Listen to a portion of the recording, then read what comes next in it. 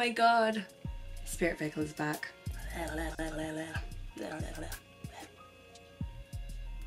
Hello, my loves. Guess who's back? Back again. I'm actually in Detroit right now, which is where Eminem is from. Yeah, what the fuck is that? Welcome back. I've missed you lot. I've missed doing this.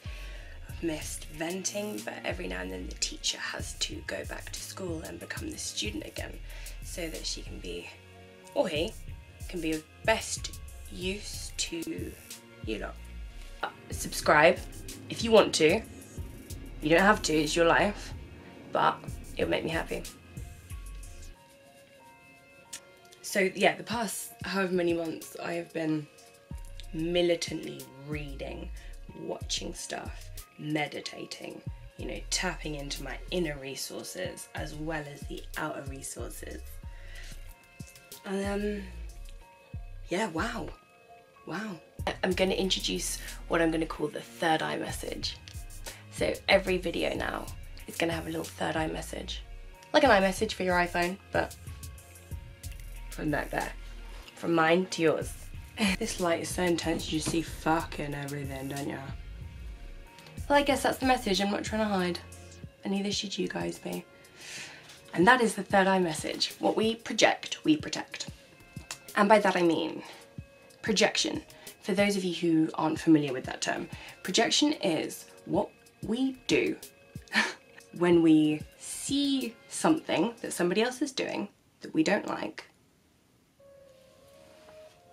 but it's something that we also do and have and behave like ourselves. So projection is a way for our ego to protect itself, for it to shield itself from the ghastly truth of the monsters that we all truly are. Observe a situation when somebody is being a fucking asshole. You know, someone's being selfish or arrogant. And instead of condemning them, you know, instead of seeing them as some like horrible external entity that, you know, we'd rather not be around, you don't have to live like that. I think this is a way out which I've stumbled across and I think it's a you know very well known concept. The world is truly our mirror. What you see in me is what exists inside of you. But I'm not talking about the you that you project, you know, with all your social or occupational pretense that shields our true essence from the people that we live with, you know, and, and, and interact with. I'll call it the shadow self, the darker side of one's mind, you know, the, the subconscious, the meat of the iceberg. That is something which is now, I'm realizing, a fundamental part of the whole. And not only is it it's detrimental to our spiritual growth by all means to pretend that our shadow selves or shadow sides or darker selves doesn't exist.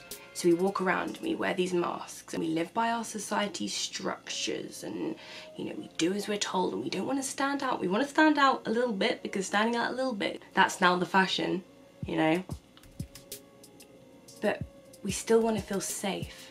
We still want to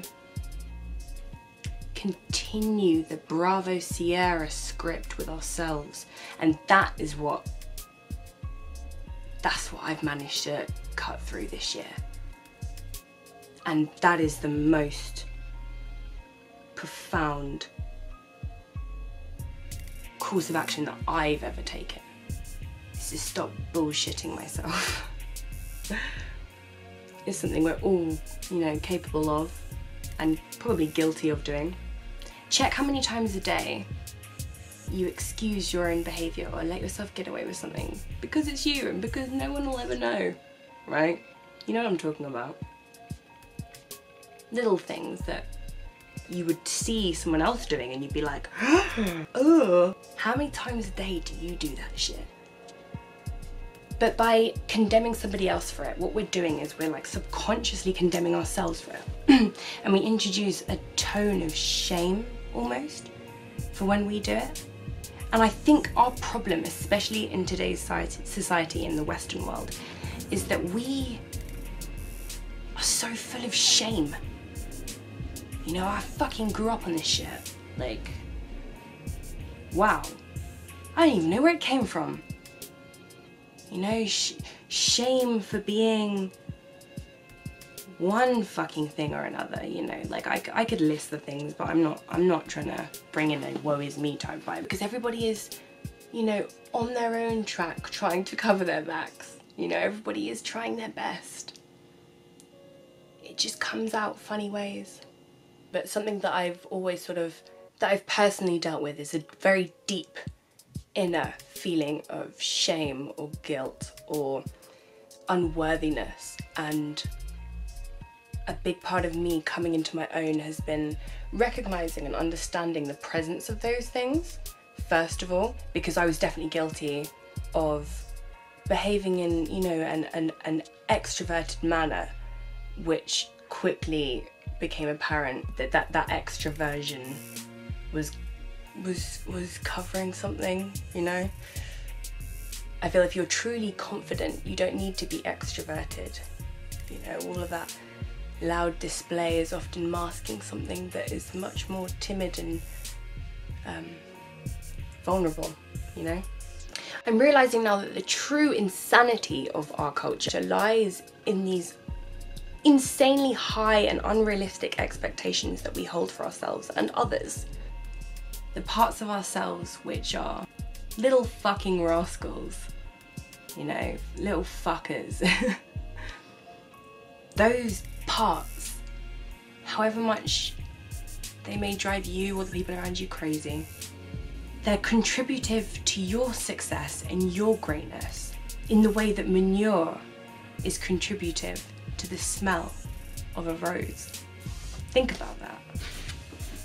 Just think about that. So the next time that you're grating on yourself, I'm so familiar with that, like fuck.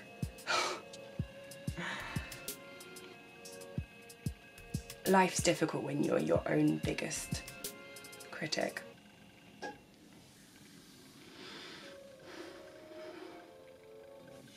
But know that it's all conducive to the to the greater picture. That man doesn't want to hear about, you know, the the punishments he's going to receive for his endless sins. He doesn't want more pointed fingers. Man, and when I say man, I mean fucking people, right? Like, let's just get that out there.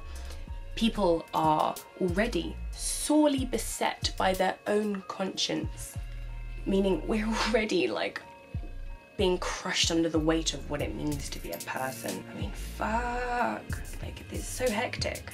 It really is. It gets to a point where we just want to know how we can reconcile ourselves and how we can fix this rascality without just adopting more like, oh right, I know, I know, I know I shouldn't, blah, blah, blah, you know? And the answer to that is to accept it and see it for what it is.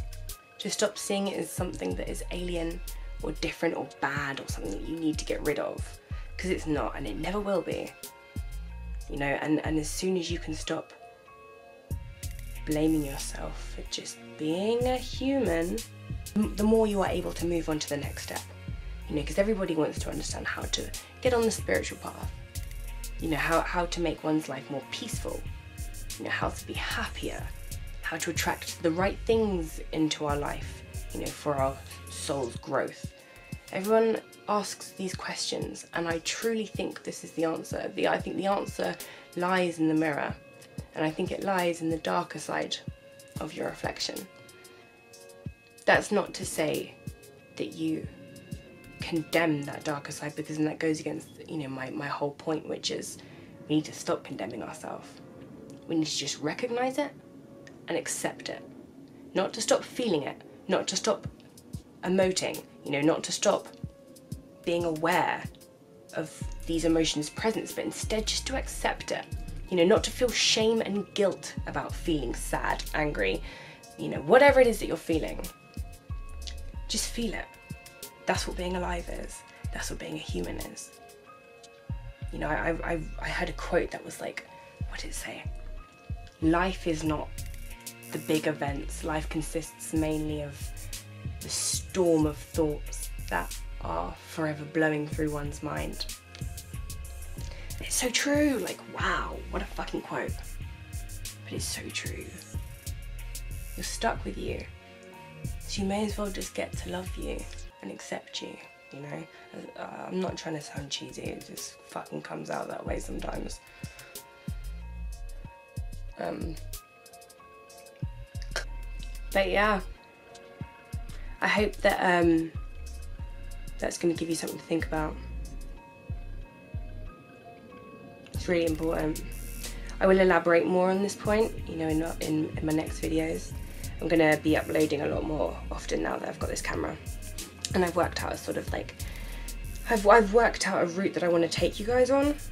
You know, and I, I figured out from listening to you guys and talking to you guys and, you know, just speaking with you all about life, where it is that I can help you, you know, because sometimes we just need a little bit of help and going into a psychiatrist's office or going and speaking to a therapist or something and you know even having to pay money is not only not only is that like intimidating but uh, the idea of that is just kind of shit really so I'm using this medium as a way to sort of send my love to you guys you know, make sure that you're receiving it if you're not receiving it in your own lives and make sure that you're giving it to yourself in the way that you deserve to be giving it to yourself. Because it saved my ass. Anyway, yeah. Subscribe if you want. Leave a comment. Ask me a question, whatever you want. I'm a fucking chatty Sally, so I'll answer. But yeah, um, thank you for coming back and I will see you in a couple days.